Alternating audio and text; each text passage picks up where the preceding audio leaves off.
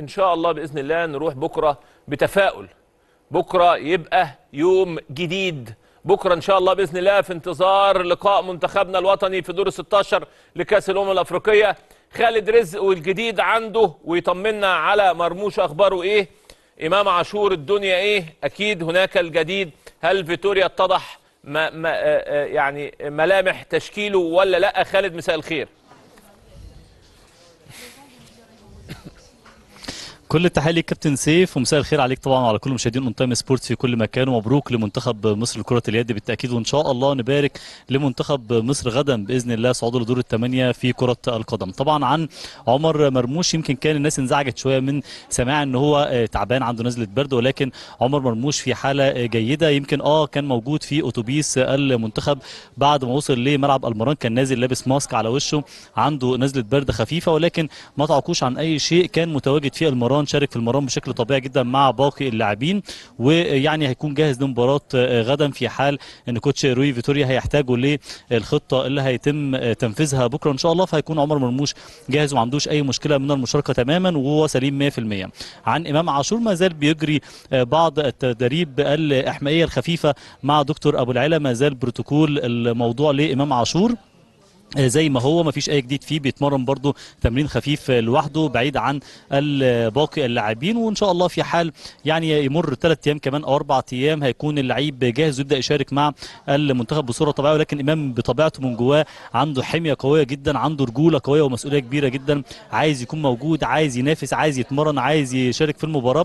ولكن طبعا دكتور أبو العيلة بمنتهى الحرفية والاهتمام بكل اللاعبين بالتأكيد صرح وقال إن هو مش هينفع يكون موجود وقال للاعب نفسه مش هينفع تكون موجود. لازم نطمن عليك الأول ونجري إشاعات وفحوصات. زي ما البروتوكول بيقولوا بعدها ناخد قرار تواجدك مع الفريق في التدريب بشكل طبيعي. باقي اللاعبين يا كابتن سيف خليني أقول لك إن هم عندهم حمية قوية جدا تحسهم منتظرين المباراة بصورة جدية جدا. تدريب على أعلى مستوى انتهى التدريب بركلات الجزاء والضربات الثابتة. كوتش روي فيتوريا بيحاول يلعب على كل النقاط في المباراة غدا بإذن الله.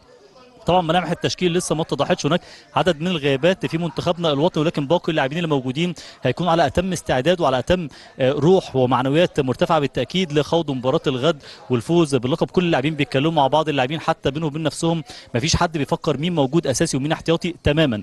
بتواجدنا مع المنتخب وتواجدنا مع اللاعبين آه، يعني بيكون في بعض الأحاديث الجانبية اللي هو إيه هتلعب مش هتلعب زعلان إنك ما لعبتش أو حاجة. كل اللاعبين كلامهم واحد ويمكن أنا حبيت إن أنا أجرب أسأل اللعيبة على إن أنت بتلعبش أو بتلعب كلهم بيتكلموا على إن مش فارق معايا إن نلعب أهم حاجة نعدي المباراة نعدي الأدوار ونصل للنهائي ويكون اللقب في الآخر لينا كلنا. حرفيا ما فيش لعيب بيفكر في إن هو يكون موجود على حساب حد أو زعلان لأن هو موجود على دكة قلبه ده حراسة المرمى اللي فيها تنافس شريف قوي جدا في المران كلهم بيحاولوا يكونوا متواجدين بصورة قوية جدا. طبعا من المعروف إن أبو جبل هو الأقرب للتواجد كحارس مرمى أساسي للمنتخب المصري ولكن كل اللاعبين مركزين حتى حراس المرمى والروح الجيدة الطيبة اللي موجودة بين اللاعبين دي أهم حاجة وأهم سمة موجودة في أجواء المنتخب الوطني. طبعا النهارده المنتخب كان المران بتاعه الساعة خمسة ونص وبعدها عادوا إلى مقر الإقامة. كان في عشاء للاعبين وبعدها اللاعبين اجتمعوا مع بعض اتكلموا بينهم وبين بعض عن مباراة الغد.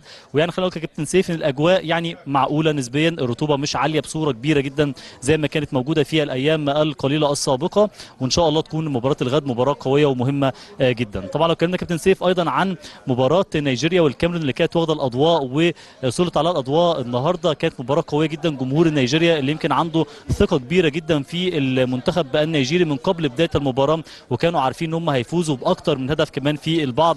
توقع الفوز بثلاث أو أربع أهداف وعندهم ثقة كبيرة جدا في لعبتهم لوكمان واحد من نجوم المنتخب النيجيري اللي أحرز النهارده هدفين وأيضا كان هناك هدف أول تم الغائه بداعي التسلل للمنتخب النيجيري. هناك طبعا حزن كبير جدا عند المنتخب الكاميروني. صامويل إيتو وسونج اللي كانوا يعني في أحاديث امبارح مع اللاعبين كتيرة جدا مع وزير الرياضة اللي كان حريص على التواجد في مران المنتخب بالأمس. ولكن طبعا هزيمة المنتخب الكاميروني وتوديعه لبطولة كأس الأمم الإفريقية وأكيد هيكون هناك أيضا مفاجآت في باقي البطولة اللي يمكن عاملة جو suspense للجمهور. ما حدش عارف مين ممكن يكسب ما حدش عارف آه، مش بأسماء المنتخبات ولا بكبر ولا بخبرات المنتخبات الإفريقية المشاركة في هذه البطولة. يعني كابتن سيف حاولت لك الكواليس والاجواء الموجودة حتى الآن؟ لو ليك أي سؤال كابتن سيف اتفضل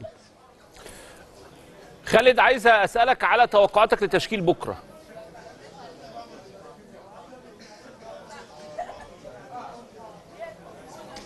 يعني يا كابتن سيف يمكن التشكيل مش هيكون فيه تغيير كبير عن المباراه السابقة هيكون آه، طبعا عدم تواجد إمام عاشور ده هيكون البديل ليه. آه، ممكن النني هيكون موجود بصورة أقرب للتواجد في التشكيل الأساسي. طبعا آه، خط الهجوم هيكون زيزو ممكن موجود مكان محمد صلاح تريزيجيه.